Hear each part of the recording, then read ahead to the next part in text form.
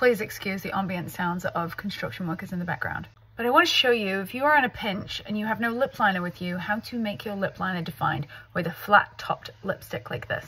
Apply the lipstick as you usually would, however, twist up a little bit until you get that point on the bullet.